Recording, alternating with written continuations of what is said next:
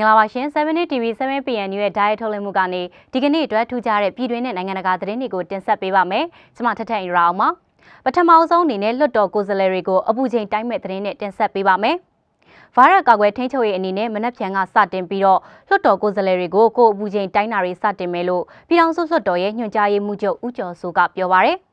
လွှတ်တော်တလာမဲကိုယ်စားလှယ်တွေကိုအပူချိန်တာမန်ရှိမရှိတိုင်းတာသွားမှာဖြစ်ပြီးတော့ဒီလိုဆောင်ရွက်တာဟာကိုယ်စားလှယ်တွေရဲ့ဆန္ဒအရလှုပ်ဆောင်တာဖြစ်လို့ပူပေါင်းပါဝင်ဆောင်ရွက်ကြဖို့အသိပေးထားပါတယ်။ဒီလိုကိုယ်စားလှယ်တွေကိုအပူချိန်တိုင်းတာကိုတော့ကျန်းမာရေးဝန်ကြီးဌာနကဝန်ထမ်းတွေနဲ့ဆောင်ရွက်မယ်လို့သိရပါတယ်။လက်ရှိကျင်းပနေစေလွှတ်တော်ကိုတော့လာမယ့်မတ်လ26ရက်အထိကျင်းပဖို့ရထားတာပါ။လွှတ်တော်အခွင့်အရေးကော်မတီရဲ့အတွင်းရေးမှူးဒေါက်တာလာမိုးကနိုင်ငံတွင်းမှာဗိုင်းရပ်ကူးစက်ခံထားရသူမတွေ့သေးတဲ့အတွက်လွှတ်တော်ကိုလည်းဆက်လက်ကျင်းပတာလို့ဆိုထားပါတယ်။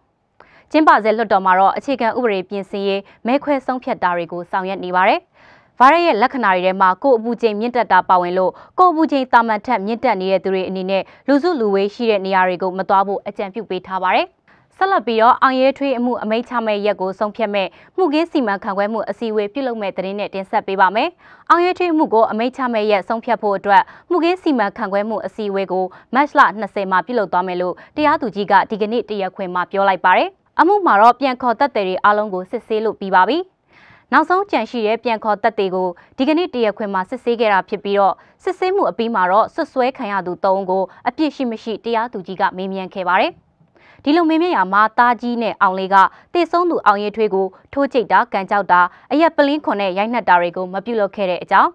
ကျော်စောဟန်ကတော့အမှုမှာပါဝင်ပတ်သက်တာမရှိဘူးလို့အသီးသီးထွက်ဆိုခဲ့ကြပါတယ်။ ဒီမှုဟာပြီးခဲ့တဲ့2019ဒီဇင်ဘာ31ရက်ညပိုင်းကဖြစ်ပွားခဲ့တာပါဒီမှုမှာဆွဆွဲခံရသူအမျိုးသား3ဦးကိုလူတက်မှုပုံမှန်နဲ့ကနအူးကဆွဲချက်တင်ခဲ့တာပါအဲ့ဒီနောက်မှာတော့အပြင်းထန်နာကျင်စေမှုပုံမှန်နဲ့ပြောင်းလဲပြီးတော့ဆွဲချက်တင်ခဲ့တာဖြစ်တယ်လို့ဒီပုံမှန်ဟာအာမခံပေးလို့ရတဲ့အတွက်အာမခံနဲ့တရားရင်ဆိုင်နေရတာလည်းဖြစ်ပါတယ်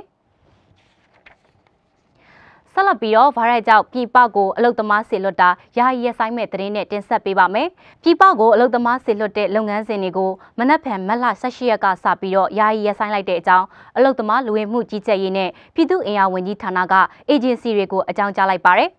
ပြည်ပအလုပ်ကိုင်အကျိုးဆောင်လိုင်စင်ရ agency တွေကတဆင့်ပြည်ပကိုတွားရောက်မဲ့အလုပ်သမားတွေအတွက်အလုပ်ရှင်အလုပ်သမားအလုပ်ခံထားမှုဆိုင်ရာသဘောတူစာချုပ်ချုပ်ဆိုတာပြည်ပအလုပ်အကိုင်တက်တေခံကပ်ပြားထုတ်ပေးတာတွေကိုစတင်ပြီးတော့ရပ်ဆိုင်းလိုက်တာလို့သိရပါဗျ။ဒီလုပ်ငန်းတွေကိုပြန်လည်ဆောင်ရွက်ခွင့်ပြုမဲ့အခြေအနေကိုတော့ထပ်မံအကြောင်းကြားသွားမယ်လို့သိရပါဗျ။ဒီလိုပြည်ပကိုအလုပ်သမားစစ်လို့ရေးလုပ်ငန်းစဉ်တွေရပ်ဆိုင်းတဲ့နေရာမှာ ထိုင်းမလေးရှားတောင်ကိုရီးယားဂျပန်အပါအဝင်မြန်မာနိုင်ငံကနေအလုတ်သမားပို့ဆောင်ပေးနေတဲ့နိုင်ငံတွေအားလုံးကိုရည်ရွယ်တာလို့အလုတ်သမားလူဝင်မှုကြီးကြပ်ရေးနဲ့ပြည်သူ့အင်အားဝန်ကြီးဌာနရဲ့အမြဲတမ်းအတွင်းဝင်ဦးမျိုးအောင်ကပြောပါရယ်ဒီလိုအလုတ်သမားပို့ဆောင်တာကိုယာယီရက်ဆိုင်လိုက်တာဟာကမ္ဘာတလောဗိုင်းရပ်ဖြစ်ပွားနေတာကြောင့်လို့သိရပါရယ်ဒါအပြင်မြန်မာနိုင်ငံကနေအလုတ်သမားအများစုတွားရောက်လုတ်ကင်နေတဲ့နိုင်ငံတွေမှာလည်း virus တွေဖြစ်နေတာကြောင့်ဖြစ်ပြီးတော့အားလုံးရဲ့အကျိုးအတွက်ဆုံးဖြတ်လိုက်ရတာဖြစ်တယ်လို့လည်းဆိုပါရယ်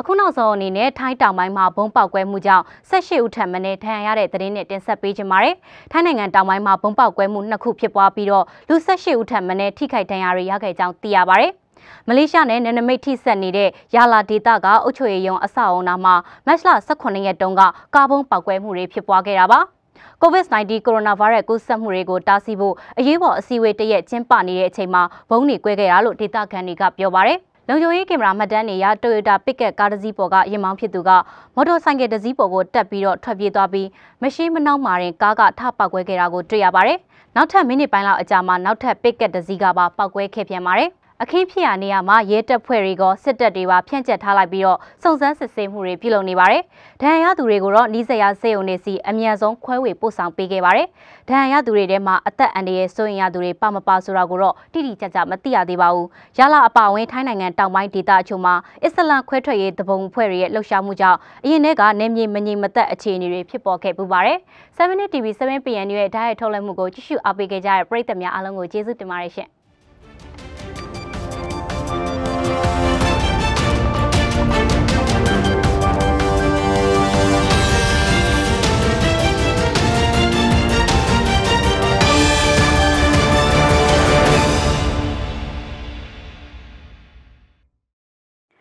12နာရီတိုင်းမှာထုတ်လွှင့်တင်ဆက်ပေးနေတဲ့7 TV ရဲ့ 7BN News တွေဟာဆိုရင်တော့အချိန်နဲ့တပြေးညီနောက်ဆုံးရပြည်တွင်းနဲ့နိုင်ငံတကာသတင်းတွေကိုမိနစ်ပိုင်းအတွင်းမှာစူးစီးတင်ဆက်ပေးနေတာဖြစ်ပါတယ်။ဒါကြောင့်မလို့သတင်းတွေကိုစိတ်ဝင်စားရဲဆိုရင်တော့7 TV page ကို subscribe လုပ်ပေးထားပါနော်။